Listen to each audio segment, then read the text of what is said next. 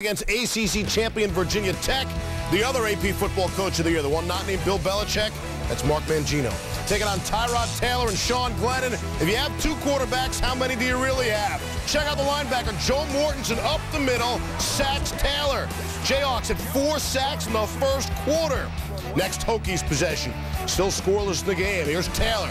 This time he's picked clean by Aqib Talib. That's 60 yards for the score. The first pick six in the Orange Bowl in 40 years. It was 7-0 Jayhawks. Second quarter, it's 10-0 at the Virginia Tech 13. Todd Reesing over the middle to Marcus Henry. Squeezes through, freshly squeezed. 17-0 Kansas.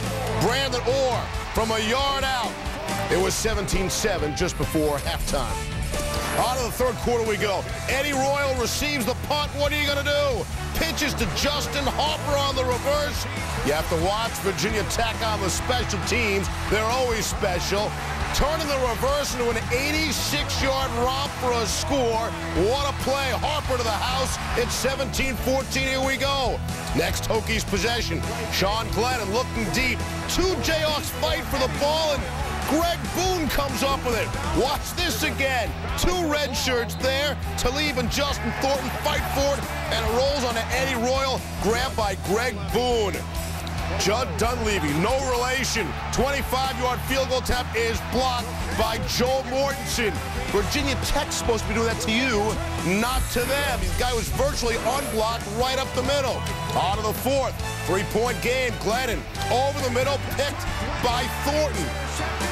Won't take this to the house instead. He returns it down to the two-yard line, and Glennon obviously ticked off at his own play. Ensuing Kansas possession. This is first and goal. Reesing not going to pass this one.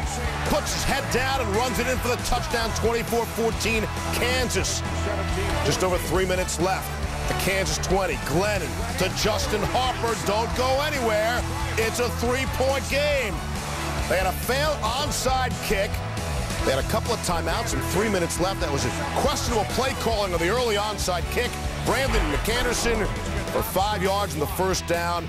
Big man with a supersized victory. It's another step for our program.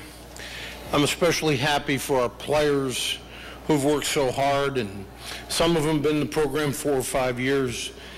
And, uh, you know, they had to endure the tough times uh, to get here, so I'm especially proud of them. It was an up and down game, all, all kind of like a roller coaster of emotions. Um, and our defense was able to get turnovers and, and, get us the ball at good position, and, and, that was that was huge for the game. And uh, you know, the offense came through and we had to and made the plays that we needed to to get the ball in the end zone and, and get points on the board. But it was uh, you know it was back and forth. It was uh, it was a real fun game to play in.